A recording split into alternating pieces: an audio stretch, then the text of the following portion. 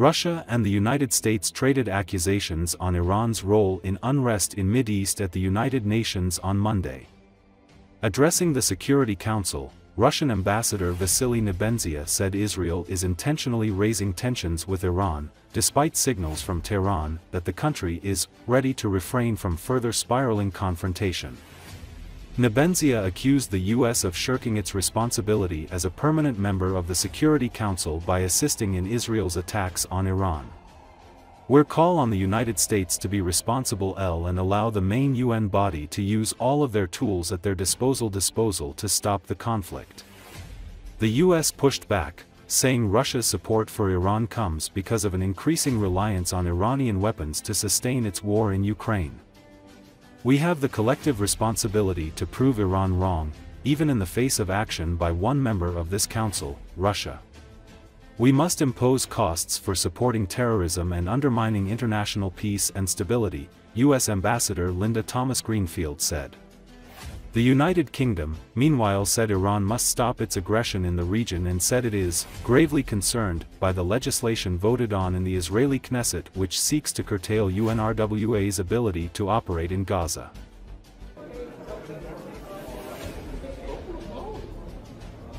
В этом контексте глубоко обеспокоены непрекращающейся и нарастающей взрывоопасной эскалацией между Израилем и Исламской Республикой Иран – которая создает реальные угрозы стабильности и безопасности в регионе. Настойчиво призываем все вовлеченные стороны к сдержанности, прекращению насилия и недопущению развития событий по катастрофическому сценарию. Всем протагонистам важно найти в себе силы и мудрость выйти, наконец, из этой спирали неконтролируемой эскалации. А после серии политических ликвидаций, включая убийство главы исполсовета Хамас Хании, генерального секретаря Хизбаллы Насралы и ряда других лидеров противостоящих Израилю движений, в Западном Иерусалиме пытаются всеми силами втянуть в конфронтацию и Иран, проявляющий исключительную, исключительную в данных обстоятельствах сдержанность. Сложно избавиться от ощущения, что в Западном Иерусалиме сознательно идут на обострение, несмотря на сигналы Тегерана о готовности воздержаться от дальнейшего раскручивания спирали конфронтации.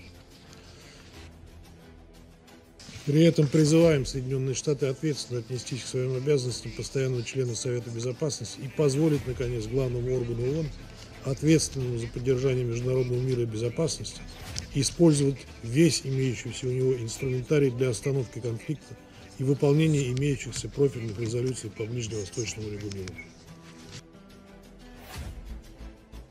Iran requested this meeting today. Its representative seeks to gaslight and deflect, to claim the role of victim while continuing to sow chaos across the region.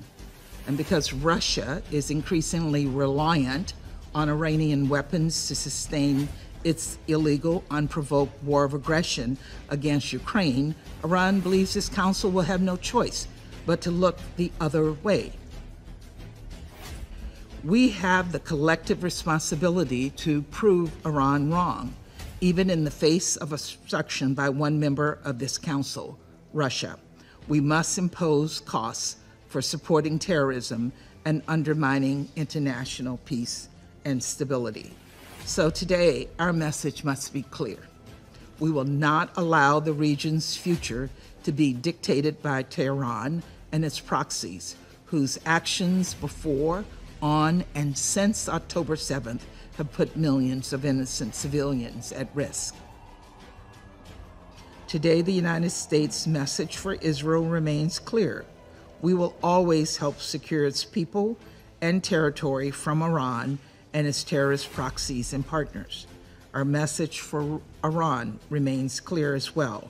Should it choose to undertake further aggressive acts against Israel or U.S. personnel in the region, there will be severe consequences. We will not hesitate to act in self defense. Iran should not respond. All sides must exercise restraint. No good can come of pouring more fuel on the flames of this escalating cycle of violence. We have been clear that Iran must end this support. All our efforts now should be on breaking the cycle of violence. Let me be clear a regional war is in no one's interest. We're also gravely concerned by Israeli Knesset legislation voted on today, which seeks to curtail UNRWA's ability to operate. Israel must abide by its obligations and ensure UNRWA can continue to provide essential services to those suffering in Gaza and the West Bank.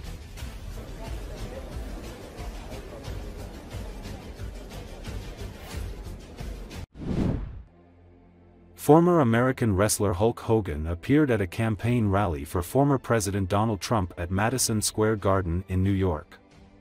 I don't see no Nazis here, Hogan said as he tried to rile supporters at the event which comes with just over a week before Election Day. The gathering on Sunday was billed by Trump's campaigners as the event where the Republican presidential nominee would deliver his closing message into an illustration of what turns off his critics.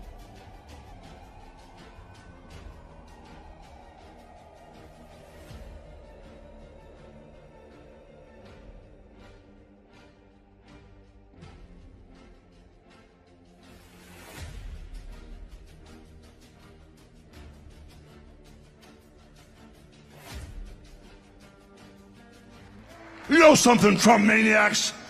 I don't see no stinking Nazis in here. I don't see no stinking domestic terrorists in here. The only thing I see in here are a bunch of hard-working men and women that are real Americans, brother.